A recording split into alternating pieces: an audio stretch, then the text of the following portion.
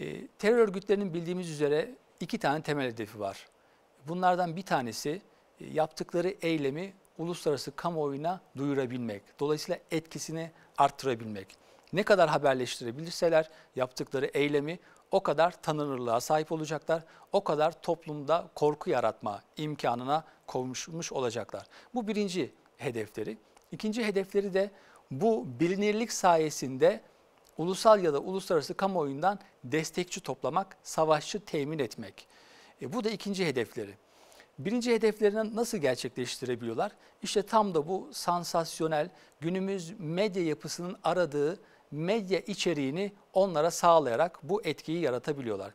Biz günümüzdeki medya yapısında ya da e, popüler kültür yapısında şunu biliyoruz ki sansasyonel olan, şiddet içeren, aykırılık içeren göstergeler izleyiciler tarafından daha fazla dikkat çekiyor. E, demek ki bir terör örgütü eylemlerini gerçekleştirirken ne kadar farklı, ne kadar kendine has, yeni, izleyicide şaşkınlık uyandıran, onu sarsan, e, belki de o güne kadar yaşayamadığı, yaşamadığı bir korkuyu tecrübe etmesine vesile olan simgeler, eylemler gerçekleştiriyorlar. E, çok detayına girmek istemem örneklerden ama mesela bir esiri e, bir kafesin içerisine koyup e, ateşe verip aynı anda suyun içine sokup boğduklarını biliyoruz. Yani Vahşice bir şey aslında. vahşice insanın aklına gelmez. Yani en vahşi terör örgütünün bugüne kadar aklına gelmemiş bir yöntem ve usul.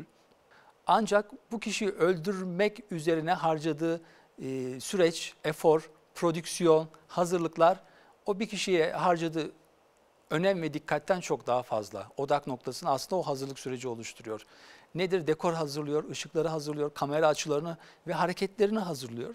Ve bu hazırlıkların hepsini günümüz popüler kültürünün kodları üzerinden gerçekleştiriyor. Dolayısıyla izleyici böyle bir dehşet sahnesini izlediğinde e, aslında böyle bir tecrübeye daha önce sahip. Çünkü her gün haber izlerken şiddet haberlerine rastlıyoruz.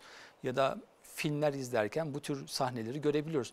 Dolayısıyla ona benzer bir kodda mesajı alıyor ama onun da ötesinde bunun gerçek olduğunu biliyoruz. Orada gerçek bir insanın canına kıyılıyor ve dehşet verici biçimde. Bu müthiş tasarlanmış, korkunç bir strateji.